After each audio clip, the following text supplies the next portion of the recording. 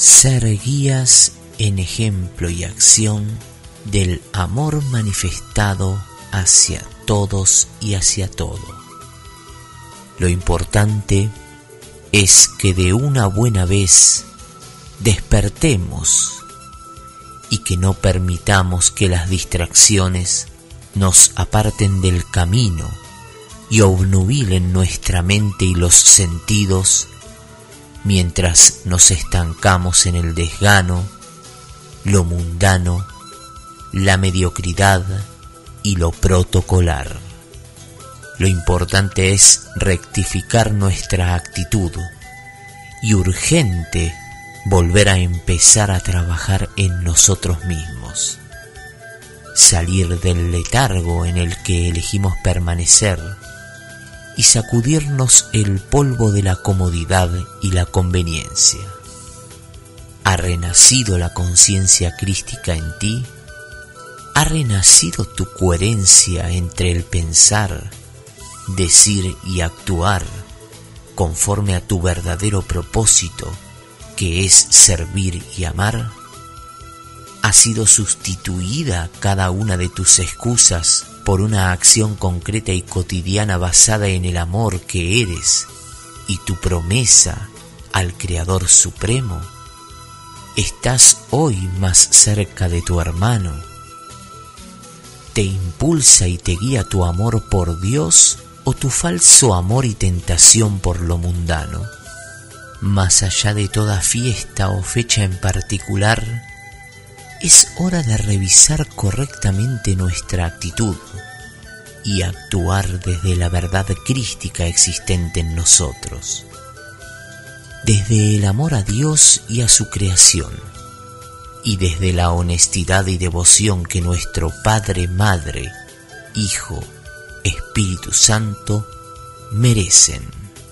Amemos en la conciencia a todos y al todo, atendiendo las necesidades del otro sin excusas ni postergaciones, priorizando al otro y sus necesidades y no a nuestros caprichos y falsas necesidades. En este resucitar en conciencia, que sean sustituidas todas nuestras excusas y nuestros miedos por obras y servicios de amor que todo lo bueno, santo y perfecto existente en nosotros, gracias a nuestro amado Padre Creador Supremo y Todopoderoso, brille hacia todos y todo a nuestro alrededor, consecuencia de nuestras obras realizadas en favor de los demás seres coexistentes y sufrientes.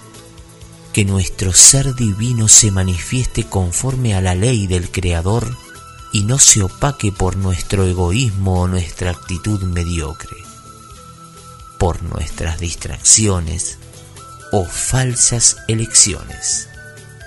Que nuestro ser divino interno tome comando de todos nuestros vehículos para el cumplimiento de nuestra parte en el plan divino y nada nos desvíe de nuestro camino de servicio a la humanidad y a toda forma de vida que se haga siempre la voluntad del Creador Todopoderoso, a quien servimos y amamos aquí ahora y eternamente. Amén. Quien ama al prójimo, ama a Dios, y amar a Dios es atender las necesidades de todos los seres vivos, aquí y ahora, a cada instante y en cada lugar estando siempre listos, disponibles y dispuestos, sin excusas, postergaciones ni lamentos. Suponer es el primer paso al error y a la generación de situaciones de conflicto y dolor. Todos somos parte del cambio y responsables de nuestra propia transformación y ascensión. Si evolucionamos con nuestro ejemplo, podremos simultáneamente ayudar a miles, conforme a la ley del Padre Todopoderoso. Ahora, todo aquel que suponga o se quede con lo lindo de un evento pasado, se quedará solamente con la cáscara de un fruto mal aprovechado. El fruto del amor de Dios que ha sido cuidadosamente mantenido en nuestro corazón y conciencia por Dios y todos los guías y maestros que nos están acompañando, amando y guiando.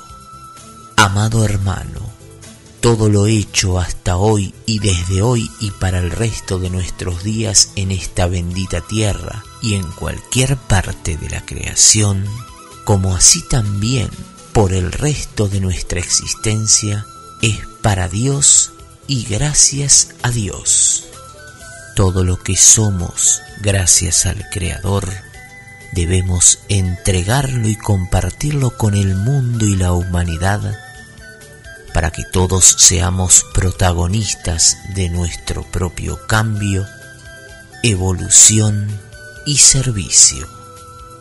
Así y por añadidura, también nos convertiremos en herramientas e instrumentos del Creador para difundir amor, fe, verdad, paciencia, misericordia, humildad, gratitud, perdón, tolerancia, respeto y gratitud a todos y a todo a nuestro alrededor, familia, pacientes, plantas, animales, amigos y todos con los que tengamos la bendición de interactuar. Cuando hay amor, hay humildad. Cuando se manifiesta amor al prójimo, se ama al Creador. En vez de permitir ser disuadidos por lo mundano y material, mantengamos la rectitud dentro de nuestra manifestación espiritual. Te amo allí en donde estés.